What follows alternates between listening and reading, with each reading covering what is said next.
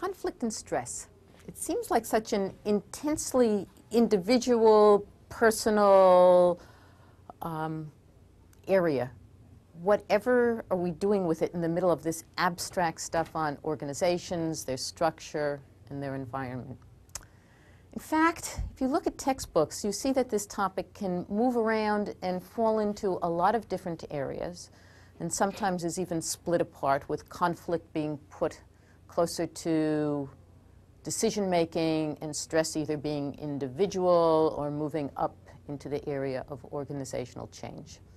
Or it's put together in the area of group. So this, this is um, somewhat of a, a different topic, has the appearance of not fitting, but my choice to place it with organizational topics is to frame it within the context of the organization. In other words, how are things that are happening in the organization and on the job encouraging, fomenting conflict uh, between individuals and between groups in the organization, stress as a reaction to conflict, and all of this as a springboard to change in the organization, which is where we're going to be going in the next couple of lecture sessions. So conflict as something that clearly relates to the organization, but something that we feel strongly as an individual. What is conflict? If we go to the first overhead, think of conflict as a process that occurs when a person or group believes that others have or will take action that is at odds with their own goals and interests. I want to underscore a couple of words there. The first is believes, because like everything else just about that we've discussed in organizational behavior, it's perceptual. It doesn't have to actually be the case, but as long as you think that's the case, then it's going to create in you feelings of conflict. And the notion is the other part of it is it's that there's something at odds with that it's going to frustrate your ability to fulfill some goal or to achieve something that if the other person or group carries through on their plans, it's going to interfere with your being able to achieve something looking at it from an organizational perspective, we're going to first look at organizational causes and how they relate to this feeling of conflict that we have. And then we're going to look at individual causes because it's a combination of two things going on. So what is it that can happen in organizations that lead us to feel conflict? Uh, most prominently, probably, is competition over scarce resources. This is a major factor when two individuals or two groups both want the same thing. We could say that this dates back to, in our own experience, childhood, two children wanting the same toy, conflict. They both can't have it at the same time. And at an adult level, the toy changes, but the process remains the same. Two people, two groups wanting the same thing. So, a problem. Uh, we see this in organizations when so many people can be hired in the entire organization, a limited number, and every unit wants a maximum amount. Obviously, if some units get more, other units get less. Conflict over scarce resources. Um, or in an organization, space allocation just a limited amount of space. And both groups want to expand the space that they're using. Conflict over space. Translate this into a bigger picture, conflict over space between countries. That's war, uh, if carried far enough. So uh, conflict that goes on over scarce resources. A second factor is ambiguity over jurisdiction. Who has the right to do what? Who has the authority to do what in an organization? Where it's ambiguous, where it's not clearly cut or spelled out which group has the authority, the responsibility for carrying out a task, and both groups believe that they have that responsibility, conflict. In fact, this actually happened in New York City where it was not clear whether the, the police department or the fire department had the authority in emergency situations. And there would be standoff. Both groups ordering their people around and tripping over each other and getting in each other's ways. Not the best way to handle an emergency situation. Conflict. And so the mayor had to step in and say, who's in charge? Um, in universities, you sometimes get conflict over uh, who gets to teach what course because it's not clear where the course belongs. What's the jurisdiction on that course? Does it belong in an engineering department? Does it belong in a management department? Does it belong in a computer science department? Because courses that we teach today are broad-based and they're not clear-cut. They're not entirely management. We have things about it, about information systems in it. Or they're not entirely management. We talk about re-engineering different processes. So these things are not clear-cut. And yet, another area, and that is differences in power, in status, and in culture. Power. This conflict occurs when A needs B to accomplish something, but B does not need A to accomplish anything. Therefore, B has power over A.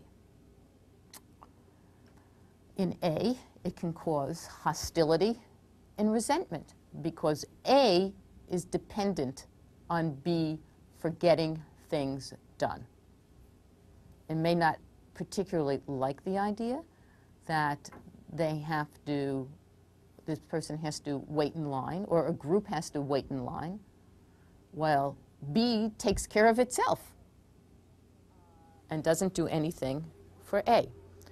Uh, so the more powerful can regulate the lives of the less powerful, and sometimes don't, do not take into consideration the needs of the less powerful. And what we're really talking about are the situations that bred the birth and the spread of union movements,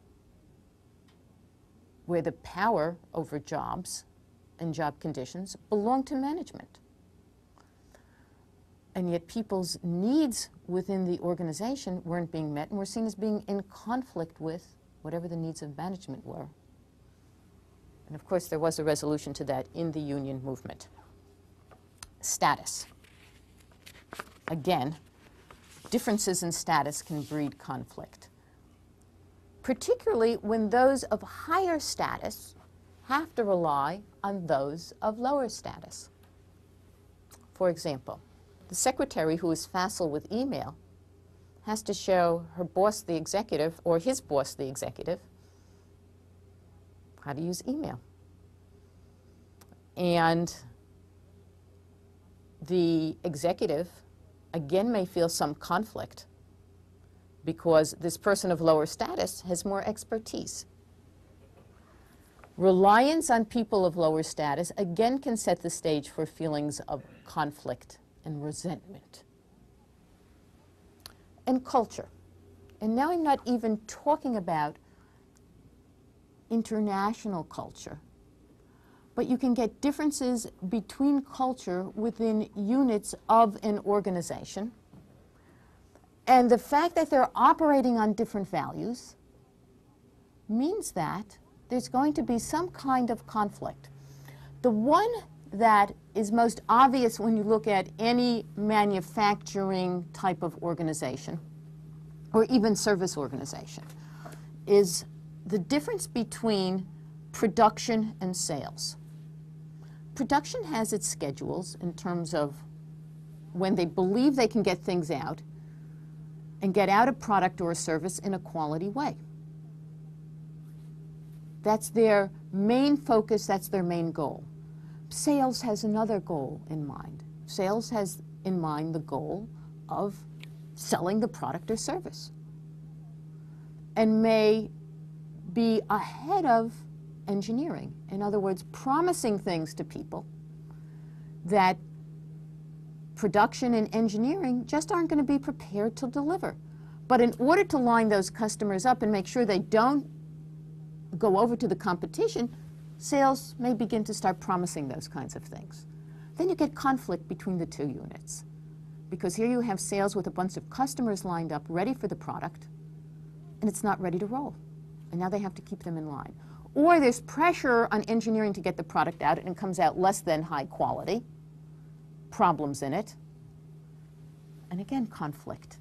And we're talking about really two different values and two different cultures operating in it. It also happens when there are mergers between two organizations and the organizational cultures conflict with each other. They don't mesh well with each other. And for years, there can persist um, doing things the way organization A does it as opposed to organization B. One of the mergers that never came off was a proposed merger between WordPerfect, when it was still its own organization out in Orem, Utah, and Lotus 123, which was located in Cambridge, Massachusetts. Now, the geographic difference alone should tell you something about the differences in cultures.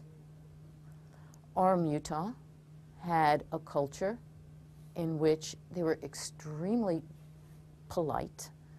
Um, they were extremely concerned with organizational traditions and adhering to organizational formats. And Lotus 123 was more of a loosey-goosey type of organization in Cambridge, Massachusetts. And the proposed merger wondered, how are these two cultures ever going to fit together? Well, it never happened. And maybe one of the reasons it never happened is it was just going to be a tough merger to ever carry off.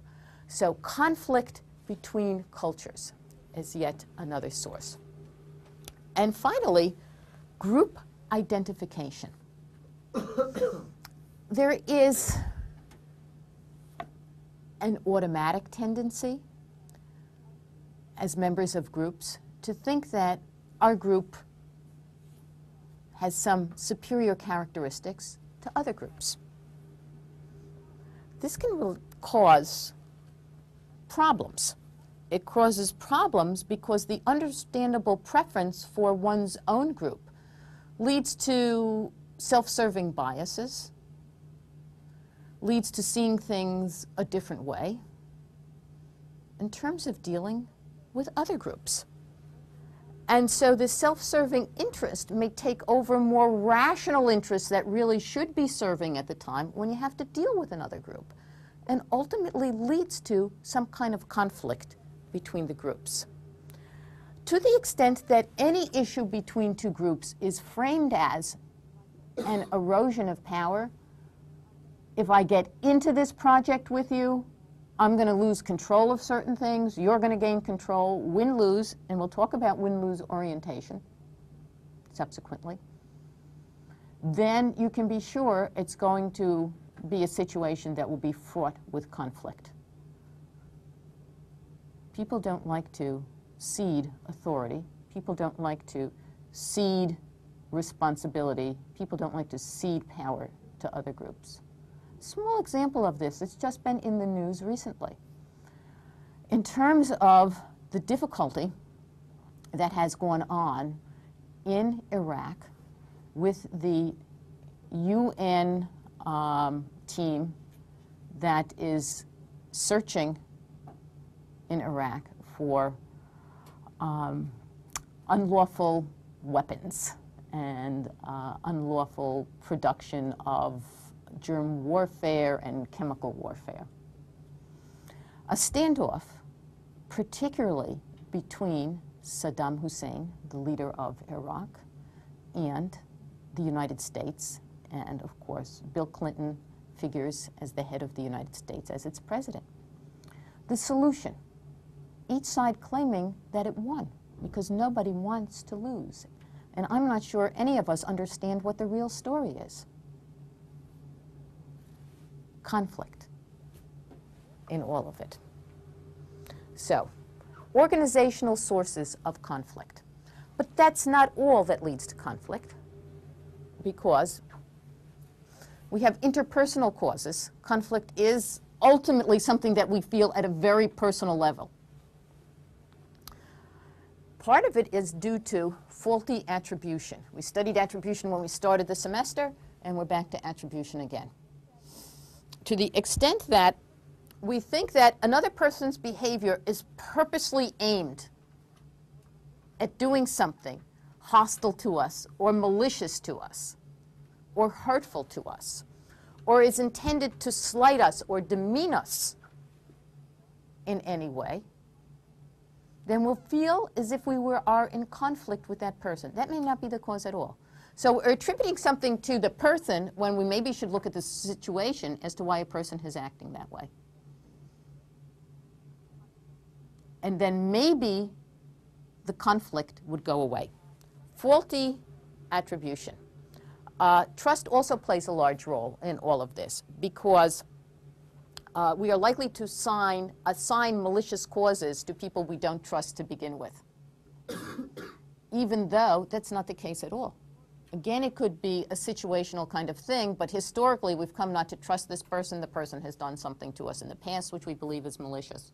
Now we have a new situation. We automatically jump to that malicious intent attribution as opposed to thoroughly trying to understand what's going on in the situation and we jump to a conflict stage when we probably really need not do that. But once you jump to conflict stage, you may set conflict in motion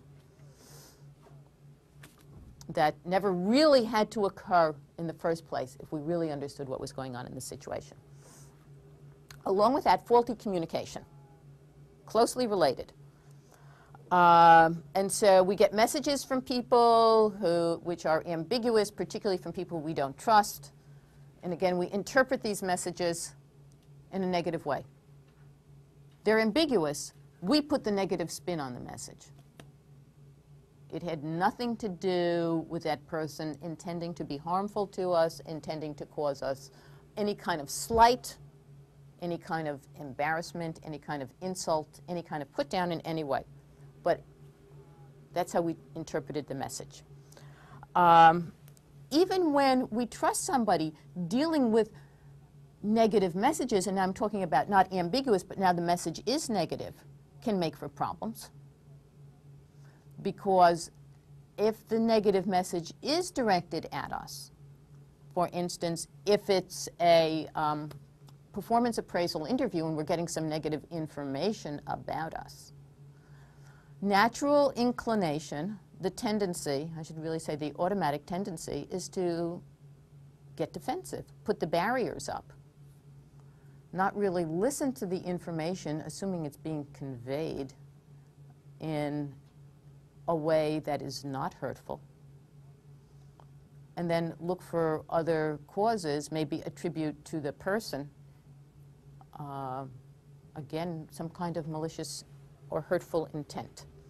Um, so faulty communication. Competitive reward systems can also do this to us. Uh, particularly where people are paid by commission uh, and you're competing with other people in your work group for territory, for sales, for getting customers. It's limited. Uh, again, you may come into conflict because you may not share all the information that you could be sharing with that person. Sets the stage for you. You don't want to share the information because if you share that information, they may be able to get some customers away from you or do better than you.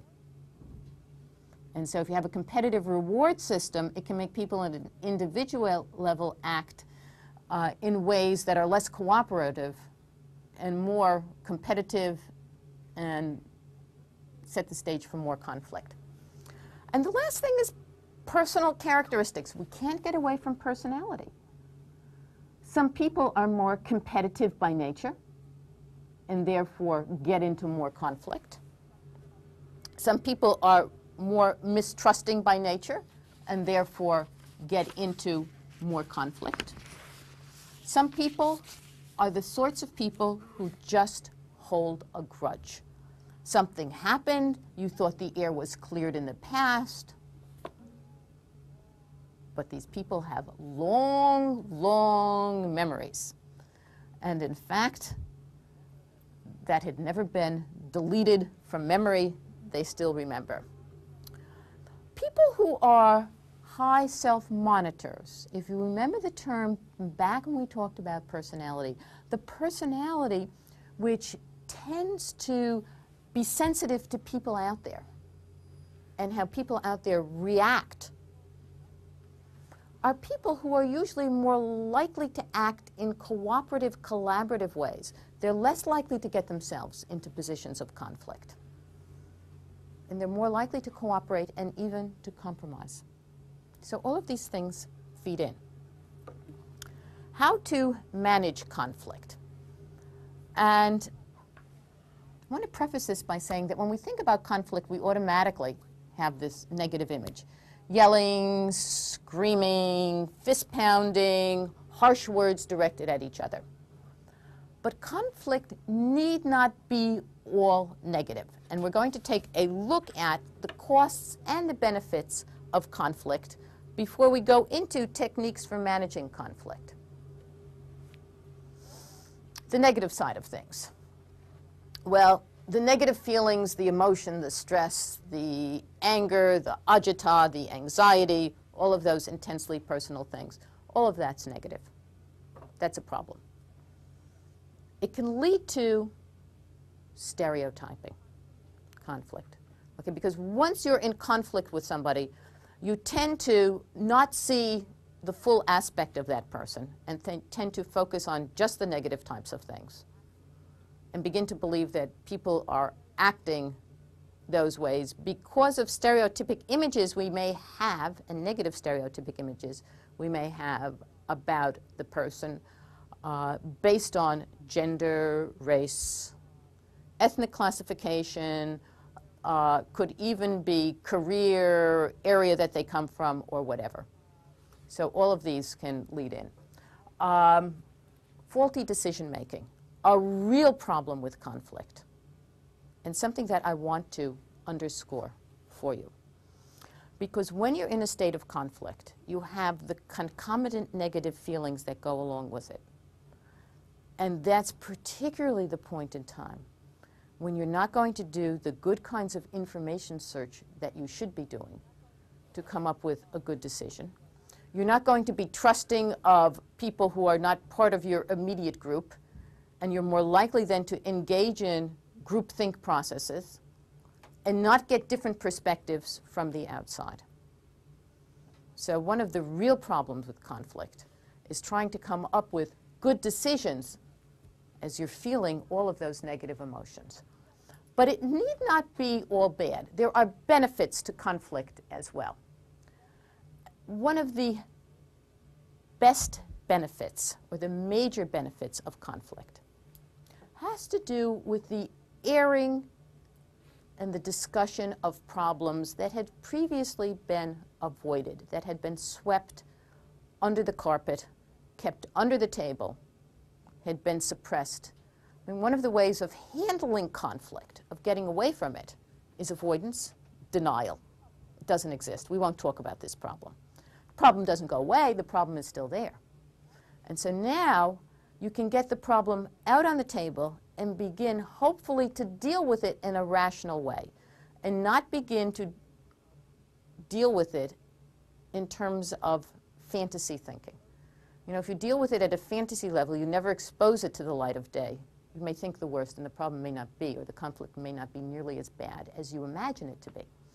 So real discussion of problems is perhaps the major benefit of conflict. It can then be the basis for change in an organization. Things aren't working right. We've got the problem out on the table. How do we begin to tackle it? How is the organization, the way it's structured, contributing to it? How can we begin to change things? So, yet another benefit that can come from conflict. And it can serve as a basis for increasing motivation and loyalty. It's the notion, something like competition. That competitive edge, the edge that may come from conflict, begins to bring people together within an organization and begins to make them focus on the tasks that need to be done and get carried out in the organization. And in the process, they may feel a greater sense of loyalty. So all of these as possible costs and benefits to the organization. given all of that, how is conflict managed? Three major ways for managing conflict. Most typically, bargaining and negotiation. This is the process in which the parties in dispute make offers and counteroffers. I'll pay you two million a year. No, I really want seven million a year. All right, I'll pay you three million a year. No, I could settle for six million a year.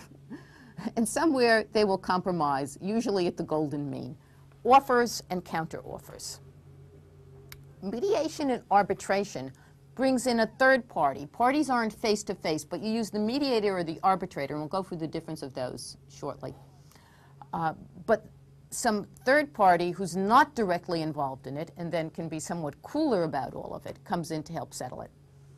Or finally, the setting of superordinate goals, goals that somehow are an umbrella over both sides and handle all of the various aspects that were desired on both sides and yet is bigger than where either side started out.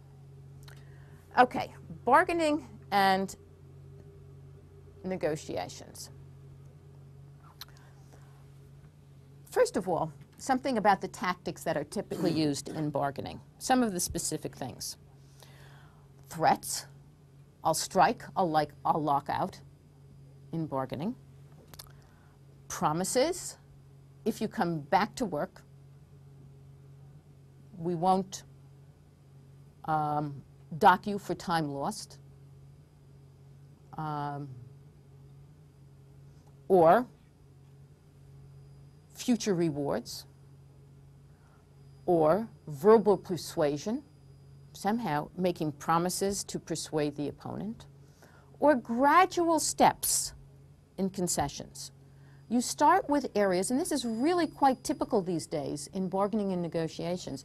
You start with areas where you can agree on certain things. And you use that as the basis for getting a positive orientation to the more difficult problems that are out there. This is the approach that has been used in the Middle East between Israel and the Palestinians. They started out on easier areas, and they reached agreement on some of the easier areas. Now they're up to some more difficult areas. Hasn't worked quite the way they had hoped it would work, but at least some agreements have been reached, and everybody is still more or less willing to come to the bargaining table. It's, they're not always willing to come at the same time. That's one of the problems. But in organizations where there is threat of a strike, or where in fact a strike actually takes place, again, the usual procedure is let's start with the areas where we can find common ground fairly easily. As a way of setting the climate for the rest of the settlement. And then sometimes you get into this area where you find you can trust each other and it makes the settlement process easier. Okay, framing the issue, important. And there are three ways of framing the various issue that are typically used. A task orientation. The task orientation looks at the jobs that need to be accomplished in terms of getting things done. An emotional orientation in which you look at the reactions that people have and are feeling about various certain things that are going on. And finally, a cooperative orientation so you can frame the issue in terms of tasks, in terms of emotions, or in terms of cooperation. And clearly, the two strategies or the two orientations as you start to frame issues that lead to better outcomes, faster outcomes, are task and cooperation. If you start to frame things in terms of emotional language, it gets much harder to reach agreement between parties.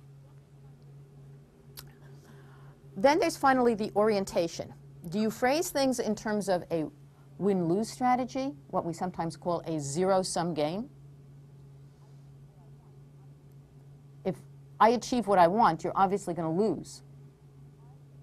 Or if you achieve what you want, I'm going to lose in the issue.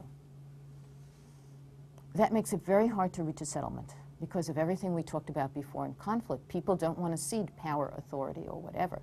People will wind up ceding some power and authority, but if the issues are framed that way,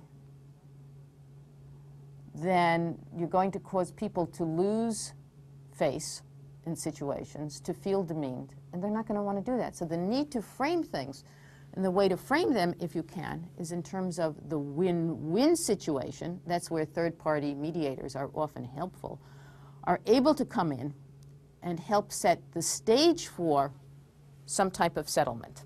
Both sides stand to gain in terms of the win-win situation. Now, it's sometimes hard to get people into that kind of situation because people will often be willing to tolerate a loss if somebody else loses more rather than both sides winning. And they've looked at this in various types of games that people play uh, and found that uh, they get into this losing mentality, and I don't mind losing as long as the other party loses more. As opposed to, yeah, we both could win something if we cooperate. Getting people to that cooperative stage is not easy. Um, aspects of mediation. Okay, mediation is a little bit different. We have um, this, okay, good. Aspects of mediation. Mediation and arbitration are slightly different from each other. In both, there is third-party intervention. And in mediation, the mediator makes suggestions as to how to settle it, but does not have the authority to impose a solution on both parties. Arbitration, it's different. In arbitration, again, there is a third party in there, but the arbitrator has the authority, both sides give the authority to the arbitrator to impose a solution on the two groups. In this case, we really talk about binding arbitration, and in some cases, it's written into contracts. There is binding arbitration between the two groups. There is also something called final offer arbitration. For those of you who are involved in sports, you know that sometimes arbitration comes into play in baseball in terms of settling salary disputes. And that uses final offer arbitration. In final offer arbitration, both sides come in with the respective number. And the um, arbitrator gets to choose one side or the other. What's interesting about final offer arbitration is that since only one side is selected, the person cannot cut through the middle. It puts a kind of responsibility on each of the parties in the dispute not to present an offer that is too unreasonable, because if it's too unreasonable, it'll be rejected. So it sets a framework for trying to get people to act in more reasonable kinds of ways. Okay, aspects of mediation. Enlarging the pie. In this tactic, both sides get what they want because new resources, somehow new money is found out there to handle it. So somehow the workers get their increases and management somehow has found new money to fund the increases. And they're not going to be put in uh, some kind of financial jeopardy by giving the increases. Log rolling. Log rolling means that each side makes concessions on low priority issues. And um, then we'll gain something on the higher priority issues. Okay, log rolling as a tactic. Cost cutting, frequently used. I've heard of it being frequently used in municipal negotiations. And that is that one side gets its increases, gets what it wants, and the other side is able to manage this because somehow cost cutting is going to come into play. And you typically hear about this taking place when you hear about productivity improvements. Yes, there will be an increase for the workers, but there will also be productivity improvements which will take care of paying for all of the increases. So what are these productivity improvements that they typically are talking about? Well, it may mean that fewer workers take care of doing the job. Well, that would certainly increase productivity. That means that the union now is willing to have some workers let go because fewer people will do it. Or there may be some kind of technological improvement as a way of handling it. But something will allow for that to come into place. And finally, in bridging, neither party gets what it wants, but a new option is developed which satisfies both sides. Okay, so in arbitration, the third party has the power to impose the solution. Okay, and I mentioned before the last strategy, superordinate goals, where new goals are created that overarch both sides. For instance, in communities, busing frequently becomes an issue and is the basis for conflict.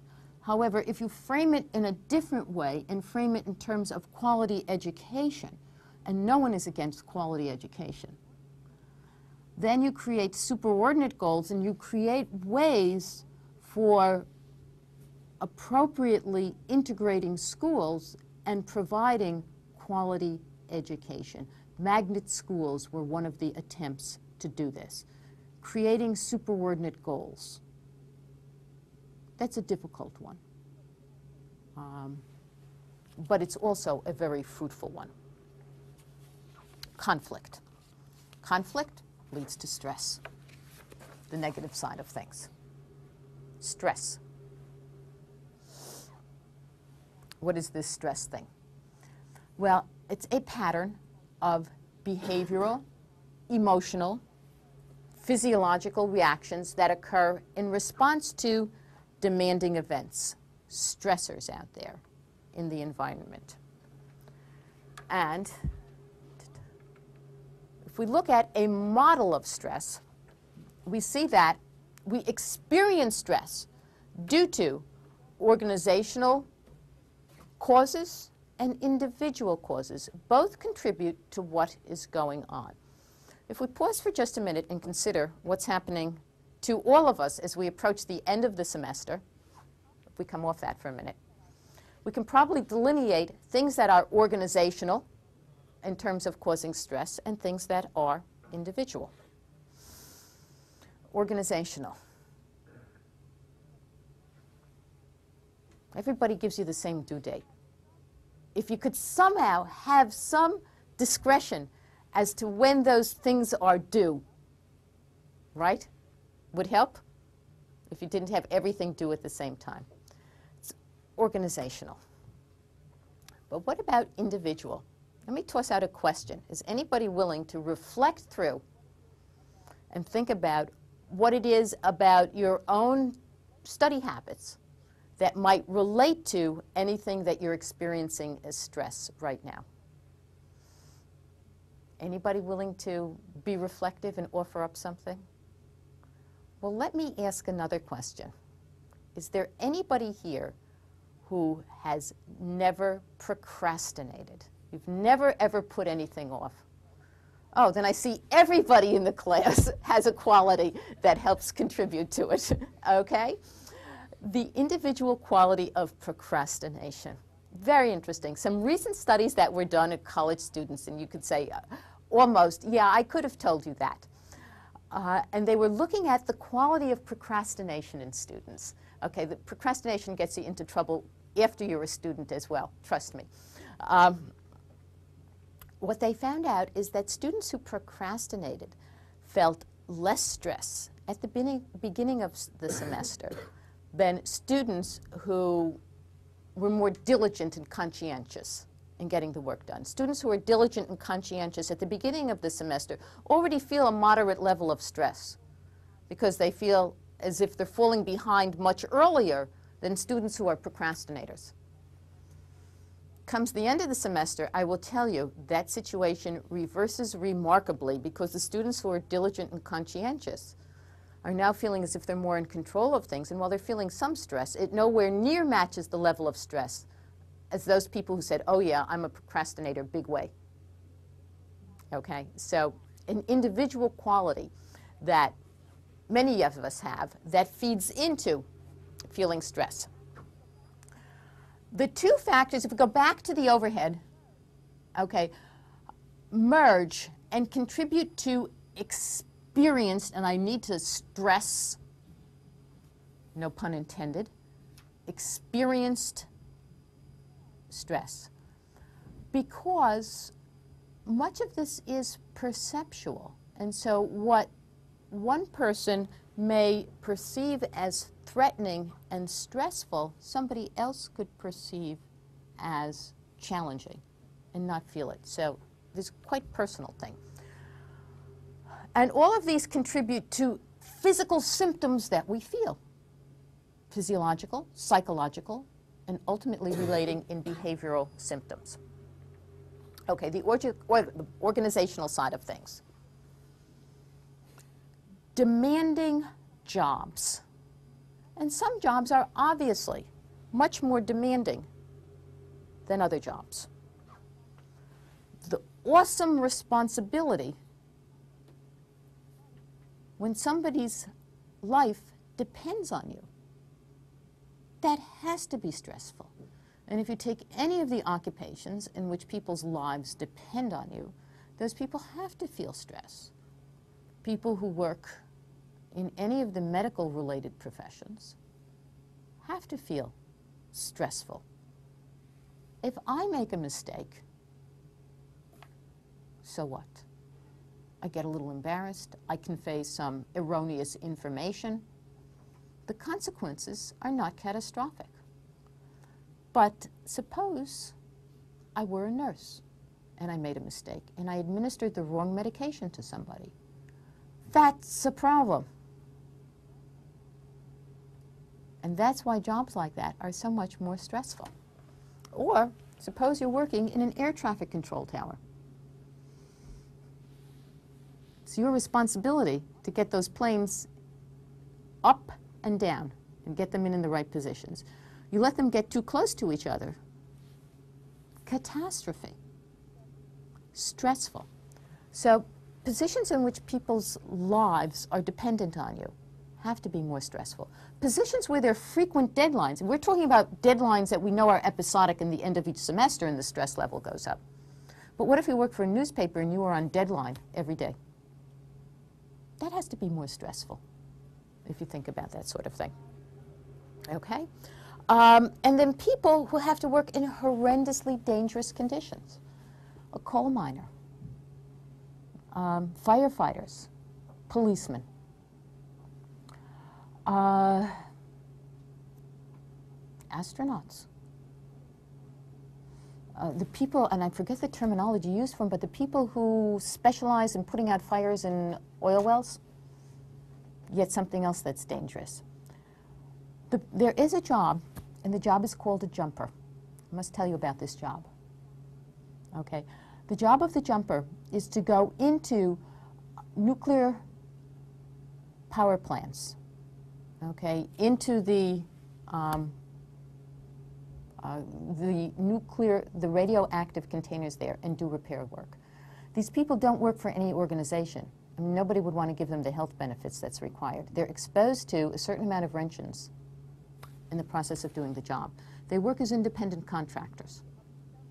And they can get exposed to up to so many over a period of time. They work closely with the Atomic Energy Commission. Okay, I think they're under um, their aegis. But imagine that job, getting exposed to all that radiation. Now there's some people who choose that kind of job. Most of us would never think of engaging in that kind of job. Okay, so demanding jobs clearly do it. Competing demands. What do you do first? Two demands on you. Uh, and here the competing demands can be demands within the organization, competing demands, or demands, more typically we think of these days, between family and work. There are only 24 hours in a day. You can't do anything about that. And yet, you have an enormous number of tasks you have to accomplish, some of which you're probably being asked to accomplish at the same time. That's going to cause a feeling of stress in you. Role ambiguity. You're uncertain about what key elements of the job you should do first or what are the priorities that you should uh, pay attention to. Ambiguity in general is stressful. And it leaves you feeling as if you're out of control of the situation when things are ambiguous. You don't know exactly what's happening. Job responsibility. The more responsibility you have on a job, the more stressful it is. The more you know the buck stops at your desk for some important project, and that project isn't going well, and it looks like the company might lose money, and it's your neck on the chopping block, the more stressful the job is. Okay, responsibility. Isolation. Should tell you, misery loves company, the old adage. For people who work in isolated situations, again, it's stressful. All alone there, and you have no way of knowing what you're feeling is the appropriate feelings for the situation.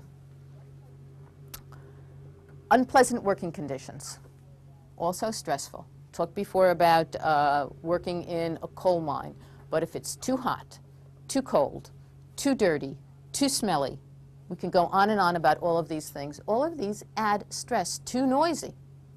You ever try working in a noisy environment, particularly when you're trying to concentrate? All of these add stress into the situation.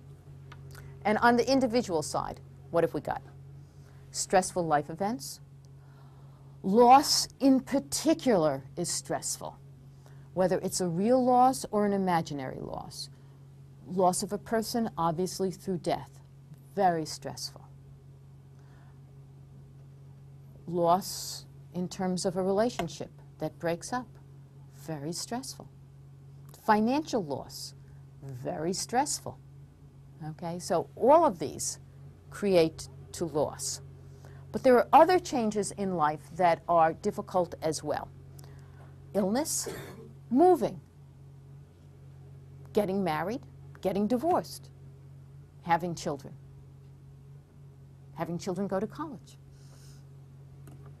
Okay, all kinds of changes in life, and some of them are positive, still create stress in life. And to the extent that some of these tend to bunch up at one time in your life, even more stressful. So stressful life events. And then there's daily stress, the hassle of doing things over the course of a day. And if I ask you to think about things, you can probably start enumerating from the time you get up of things that didn't go right today. That created levels of stress. The traffic that you endured coming here uh, as a possibility. Uh, disk failure, something that could create stress. Everything you had was on the disk and you got in and you popped it and you were ready to use it and all of a sudden it didn't work. Computer failure. The people you depend on not coming through. Stores that give you hassles about different things. All of these are the things that we go through and it's part of living, but it's also stressful. And then finally, personality and perception. All of these are things that lead to possibly increased stress. In terms of personality, some people are just hardier than other people. Some people seem to be more fragile and they can't take any stress level. They seem to fall to pieces. Other people seem to know how to put things in perspective and can tolerate more difficulties in life. Some people are more patient than others. If you're more patient, you're going to be able to deal with stress a lot easier than if you are impatient. Because if you're impatient, you're going to get into a lot of situations in which you simply can't control what's going on, and you will still feel stressful. You want something to happen, and you want something to happen now. But shooting up your blood pressure and shooting up that level of stress isn't going to make that thing happen now. Okay, what am I talking about? You call up and you want to deal with some sales representative and you're put in the queue. I'm sorry, all of our customer representatives are busy right now, but your call is very important to us. Please stay on the line and it will be answered by the next available representative. Music. The message again. More music. The message again. And you feel your blood pressure going up. No matter how high your blood pressure goes up, that customer representative isn't going to come on the line any faster. Take a cup of tea, take the newspaper, sit down. Okay? It's not going to help anything. It's just not in our control. And yet, we do feel that increase in stress level. So that's one of the other things. That tendency to sometimes see a situation as threatening and sometimes to see it as an opportunity. Perception of the situation. What are the effects of these on the individual? There are clearly physiological symptoms related to stress. Productivity loss. This is somewhat hard to document, but clearly we can see how it can happen. Low levels of stress may be somewhat helpful. If you're too relaxed, you're never going to get out of bed in the morning. Okay, you need some level of stress to keep the system going. But it's when it starts to accelerate. And um, clearly, that can happen as well. Okay, let's go back. Let's take a look at physiological symptoms. Headaches. You've all been in that situation where you have so much to do and all of a sudden the throbbing headache sets in. And you walk around with your bottle of aspirin or ibuprofen, Advil, Motrin, whatever it is you're taking. High blood pressure clearly results from all of this. And if you sustain stress for too long, you can begin to get cardiovascular types of diseases. You can also begin to experience from stress certain psychosomatic illnesses, illnesses that have their origin in conflict and stress, but are clearly physical in nature. Some people break out in rashes. Some people get asthmatic. All of these things can be stress related. If things get too bad, we talk about burnout. Now let's move to some of the psychological symptoms for what are happening. Burnout. This is from prolonged exposure to stress, and it's marked by feelings of anxiety, feelings of depression, and along with that, feelings of helplessness. It particularly seems to happen from people who are in the helping professions, people who are social workers, and people who have to deal with people who are depressed and seem to be living in chaotic conditions, or people who are working with individuals who are experiencing terminal illnesses. And they get ultimately, after a while, callous about what's happening. They seem to depersonalize other people. So that can be a real problem. Sometimes, with all of this, there are substance abuse problems. Substance abuse is not a good way to handle stress. People use substance abuse because it works so well, but not a particularly good way. And finally, some behavioral symptoms. I talked before about productivity loss. People are distracted by stress. They can't focus on the job. They're thinking about self-involvement. How are they going to cope with something? And they get into, again, an ineffective way of handling stress called avoidance. If it gets so bad, it's avoidance. I'm not even get out of bed in the morning. I can't face this day. Okay, but avoidance, you have absenteeism go up at work. You have increased tardiness. You have people just spending more time away from the job, uh, and you may have more turnover. How to manage stress? Well, personal approaches, lifestyle. that healthy lifestyle.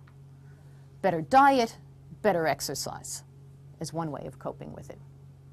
Some physiological approaches, relaxation techniques, biofeedback. Just some techniques to help get you relaxed. And once you start to feel relaxed, that transfers to other situations. Some cognitive approaches, think it away. Reframe the situation, look at it differently. Um, the slogan that typically used is don't sweat the small stuff, and it's all small stuff. Reframe the problem and don't see it as the major problem that you think it is. And it helps you begin to get control of the situation. Some organizational approaches. Maybe you can redesign the job. Air traffic controllers have better uh, computerized monitoring there so that signals go off and there's something that's going to alert them to emergencies. Uh, maybe an assistant to be hired for a very busy administrator is a way of helping the person cope with the job. Social support, very important, particularly in stressful type of jobs. If you have other people who've been there and done that and can give you some perspective on things, that helps. A supportive social network helps in all instances. A little TLC can help you get through some stressful situations. Family-friendly policies in the workplace, particularly putting in child care centers and giving workers flex time to deal with that work-family conflict.